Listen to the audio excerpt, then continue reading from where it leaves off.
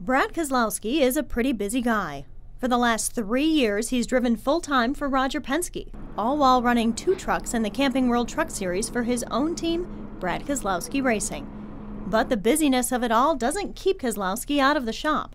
In fact, it's just the opposite. Brad is probably more involved than I thought he would have been. He comes in the shop once a week probably, and he's not your typical owner. He don't come in and really complain about things. He comes in, looks around, gives his two cents worth or ideas, and uh, pretty much moves on. And I think it makes it easier to be more laid back and improve your equipment to get better at the racetrack. And car chief Robert Huffman says that ease transfers over to the track as well. Really fun to work with at the racetrack because, like I say, he, he knows what he wants, he gives good feedback, very smart about what makes you go fast. The competitive side of him, how much he knows about the race cars, the, the knowledge he has that he can put in that makes him the champion that he is in the Sprint Cup uh, is easy to learn from.